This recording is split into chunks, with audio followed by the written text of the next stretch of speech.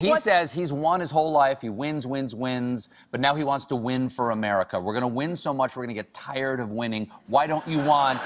Why don't you want us to win? So, you know, this is the deal. You got to kind of look a little closer at, at Donald Trump because this is his main claim to how it is that he says he's qualified to be president of the United States. he's a winner. He says in business, he wins, wins, wins. Well, the truth is, he inherited a fortune from his father. A small million dollar loan. Yeah, yeah, right. A He small million dollar He loan. He inherited a fortune from his father.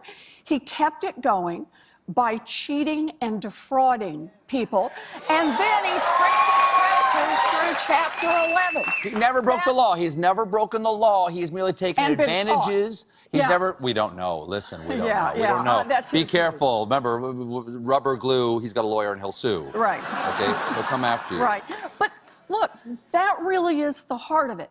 That Donald Trump knows that there's change, and the question is so what's going to happen from that?